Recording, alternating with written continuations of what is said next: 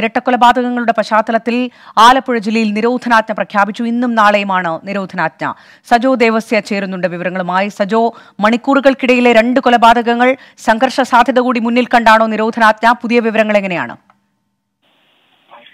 നിമി തീർച്ചയായും ആലപ്പുഴ ജില്ലയിൽ രണ്ട് ദിവസത്തേക്ക് ഇന്നും നാളെയും നിരോധനാജ്ഞ പ്രഖ്യാപിച്ച ജില്ലാ കളക്ടർ ഉത്തരവിറക്കിയിരിക്കുകയാണ്. നൂറ്റി നാൽപ്പത്തിനാല് പ്രഖ്യാപിച്ചു. ഈ രണ്ട് മണിക്കൂറുകൾക്കിടെയും രണ്ട് കൊലപാതകങ്ങൾ അരങ്ങേറിയ പശ്ചാത്തലത്തിലാണ്. ഘടകങ്ങൾ പശ്ചാത്തലത്തിലാണ്. ജില്ലാ കലക്ടർ ഈ തീരുമാനമെടുത്ത ഉത്തരവ് പ്രഖ്യാപിച്ചിരിക്കുന്നത്. സംഘം ചേരുന്നതിനുൾപ്പെടെ ഒന്നിനും അനുമതിയില്ല. പ്രതിഷേധ പ്രകടനങ്ങളും മറ്റുമൊക്കെ ഉണ്ടാകാനുള്ള സാധ്യത കൂടുതൽ സംഘർഷങ്ങൾ ഉണ്ടാക്കും എന്ന വിലയിരുത്തലിന്റെ പശ്ചാത്തലത്തിലാണ് ജില്ലയുടെ ക്രമസമാധാന നില ആകെ പ്രശ്നത്തിലാകുന്ന ഒരു സാഹചര്യം പൊതുവായി ഉണ്ട്.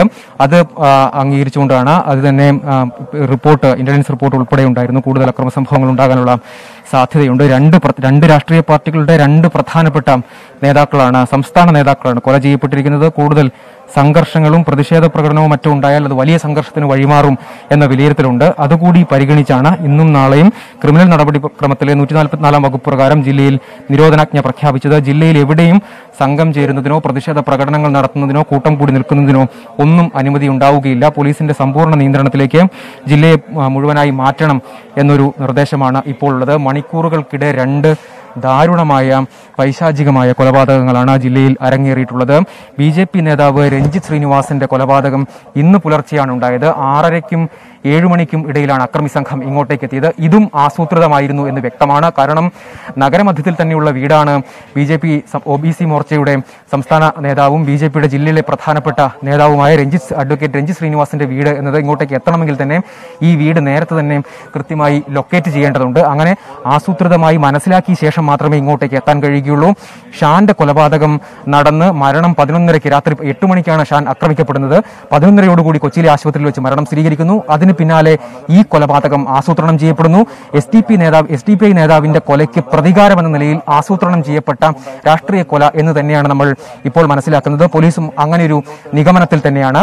എസ് ഡി പി ഐ നേതാവ് ഷാനിനെ ഇന്നലെ രാത്രി എട്ട് മണിയോടുകൂടി മണ്ണഞ്ചേരി പൊന്നാട് റോട്ടിൽ വെച്ച് ബൈക്കിൽ പോകുമ്പോൾ ബൈക്ക് ഇടിച്ചു വീഴ്ത്തി സജോ ഇപ്പോൾ ദൃശ്യങ്ങളിൽ കാണുന്നത് കൊച്ചി മെഡിക്കൽ ട്രസ്റ്റിൽ നിന്നുള്ള ദൃശ്യങ്ങളാണ് ആംബുലൻസിന്റേത്. ഇന്നലെ കൊല്ലപ്പെട്ട എസ് ഡി പി ഐ നേതാവ് ഷാനിന്റെ മൃതദേഹം ആംബുലൻസിൽ കയറ്റാനുള്ള തയ്യാറെടുപ്പുകളാണ് അവിടെ നടക്കുന്നത്. ശ്രീകാന്ത് ചേരുന്നുണ്ട്. ശ്രീകാന്ത് മൃതദേഹം ആലപ്പുഴയിലേക്ക് കൊണ്ടുവരാനാണോ തയ്യാറെടുക്കുന്നത്? എന്താണ് പുതിയ വിവരങ്ങൾ? ആലപ്പുഴയിൽ ഇന്നലെ വെട്ടേറ്റ് ഇവിടെ മെഡിക്കൽ ട്രസ്റ്റ് ആശുപത്രിയിൽ പ്രവേശിപ്പിച്ച കൊല്ലപ്പെട്ട എസ് ഡി പി സംസ്ഥാന സെക്രട്ടറി എസ് ഷാന്റെ ഭൗതിക ശരീരം ആലപ്പുഴയിലേക്ക് കൊണ്ടുപോവുകയാണ്. ഇവിടെ ഇപ്പോൾ എസ് ഡി പി ഐയുടെ സംസ്ഥാന നേതാക്കൾ ഉൾപ്പെടെയുള്ളവർ എത്തിച്ചേർന്നിട്ടുണ്ട്. അല്പസമയത്തിനകം മൃതദേഹം പുറത്തേക്കിറക്കും. ശേഷം വിലാപയാത്രയായി ആലപ്പുഴയിലേക്ക് കൊണ്ടുപോകും. സംഘർഷ സാധ്യത കണക്കിലെടുത്ത് പോലീസ് വലിയ സുരക്ഷ ഒരുക്കിയിട്ടുണ്ട്. ഈ മൃതദേഹം വഹിച്ചുകൊണ്ടുള്ള വിലാപയാത്രയ്ക്ക് പോലീസിന്റെ ശക്തമായ സുരക്ഷ അകമ്പടി തീർത്തിട്ടുണ്ട്. അല്പസമയത്തിനകം നിലവിൽ ഇവിടെ ഇവിടെ നിന്നും ഈ മൃതദേഹം വഹിച്ചുകൊണ്ടുള്ള വിലാപയാത്ര ആരംഭിക്കും. നേതാക്കളും പ്രവർത്തകരും ഒക്കെയായി നൂറിലധികം ആളുകൾ ഇവിടെ തടിച്ചുകൂടിയിട്ടുണ്ട്. കൊച്ചി സിറ്റി പോലീസും ഒപ്പം തന്നെ ആലപ്പുഴ പോലീസും രണ്ട് വിഭാഗമായാണ് നിലവിൽ ഇപ്പോൾ സുരക്ഷ ഒരുക്കിയിട്ടുള്ളത്. സംഘർഷ സാധ്യത വലിയ തോതിൽ ഉണ്ടാകും എന്നത് കണക്കിലെടുത്ത് ആലപ്പുഴയിൽ നൂറ്റി നാൽപ്പത്തിനാല് പ്രഖ്യാപിക്കുകയും ചെയ്തിട്ടുണ്ട്. പക്ഷേ എന്തായാലും ഈ പ്രവർത്തകർ എല്ലാവരും തന്നെ ഈ വിലാപയാത്രയായി ആലപ്പുഴയിലേക്ക് പോകാനാണ് നിലവിൽ നിശ്ചയിച്ചിട്ടുള്ളത്. നേരത്തെ എസ് ഡി പി നേതാക്കൾ പറഞ്ഞതനുസരിച്ച് അവരുടെ പ്രതികരണം വന്നിരുന്നു. അവർ പറയുന്നത് വത്സൻ ഈ കൊലപാതകത്തിന് ആസൂത്രണം ചെയ്തത് എന്നുള്ള തരത്തിലാണ് അവരുടെ പ്രതികരണം വന്നിട്ടുള്ളത്. ആർ എസ് എസ് ആണ് കൊലയ്ക്ക് പിന്നിൽ. പോലീസിന്റെ ഭാഗത്തു നിന്നും ശക്തമായ അന്വേഷണം ഉണ്ടാകണമെന്നതടക്കം അവർ ഇതിനോടകം തന്നെ ആവശ്യപ്പെട്ടു കഴിഞ്ഞു. അല്പസമയത്തിനകം ഈ ദൃശ്യങ്ങളിൽ കാണുന്നത് പോലെ അല്പസമയത്തിനകം മെഡിക്കൽ ട്രസ്റ്റ് ആശുപത്രിയിൽ നിന്നും മൃതദേഹം പുറത്തേക്കിറക്കും. ശേഷം വിലാപയാത്രയായി ആലപ്പുഴയിലേക്ക് പോകും. ശരി എസ് ശ്രീകാന്താണ് കൊച്ചിയിൽ നിന്ന് വിവരങ്ങൾ നൽകിയത്. സജോ ദേവസ്യയിലേക്ക് വീണ്ടും. സജോ സൂചിപ്പിച്ചതുപോലെ തന്നെ ഈ സംഘർഷ സാധ്യത നിലനിൽക്കുന്നുണ്ട്. ഇപ്പോൾ ഈ കൊല്ലപ്പെട്ട ഷാന്റെ മൃതദേഹവും വഹിച്ചുള്ള ആംബുലൻസ് കൊച്ചിയിൽ നിന്ന് പുറപ്പെടുകയാണ്. പ്രവർത്തകരുടെ വലിയൊരു സാന്നിധ്യം കൂടിയുണ്ട്.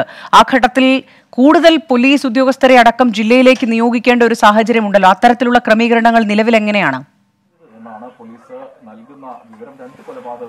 നിമി ഇപ്പോൾ പറയുന്നത് അങ്ങനെ ആവശ്യമെങ്കിൽ അതിനുള്ള നടപടികൾ സ്വീകരിക്കുമെന്നാണ്. ഷാന്റെ മൃതദേഹം വണ്ടാനം മെഡിക്കൽ കോളേജ് ആശുപത്രിയിലേക്കായിരിക്കും കൊണ്ടുവരിക. അവിടെ പോസ്റ്റ്മോർട്ടം നടക്കും. പോസ്റ്റ്മോർട്ടം നടപടികൾക്ക് ശേഷമായിരിക്കും മൃതദേഹം സംസ്കാരത്തിനായി വിട്ടു നൽകുക. പക്ഷേ വലിയ തോതിൽ അവിടെ ആൾ കൂടും പക്ഷെ അതിലേതെങ്കിലും തരത്തിൽ ഈ നിരോധനാജ്ഞയൊക്കെ എങ്ങനെ നടപ്പാക്കും അവിടെയും രണ്ട് സ്ഥലത്തും സമാനമായി വീടുകളിൽ എങ്ങനെയൊക്കെ നടപ്പാക്കും എന്ന കാര്യത്തിൽ വ്യക്തതയില്ല. വിലാപയാത്ര ഏതെങ്കിലും തരത്തിൽ പ്രതിഷേധ പ്രകടനത്തിന് വഴിമാറുന്ന സാഹചര്യം ഉണ്ടാകുമോ എന്നതൊക്കെ കണ്ടറിയേണ്ടതുണ്ട്. അതുകൊണ്ട് കൂടുതൽ കർശനമായ പോലീസ് സന്നാഹത്തെ വിന്യസിച്ചുകൊണ്ട് ക്രമസമാധാന നില നിയന്ത്രിക്കാനുള്ളൊരു ശ്രമം നടക്കുന്നുണ്ട്.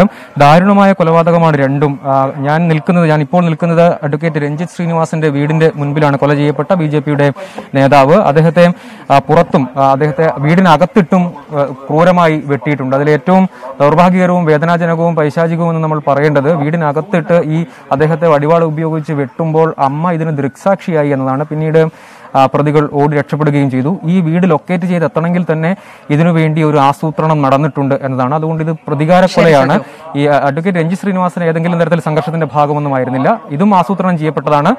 എസ് ഡി പി നേതാവിന്റെ കൊലയും ആസൂത്രണം ചെയ്യപ്പെട്ടതാണ്. പ്രതികളിലേക്ക് രണ്ട് കൊലപാതകങ്ങളും അത്യന്തം വേദനാജനകമാണ്. മാത്രമല്ല ഈ കൊല്ലപ്പെട്ട രണ്ടുപേർക്കും ഏതെങ്കിലും തരത്തിൽ ഇത്തരത്തിൽ പ്രശ്നങ്ങളിൽ പെടുന്ന ആളുകളല്ല എന്നുള്ളതാണ് വളരെ പ്രധാനം.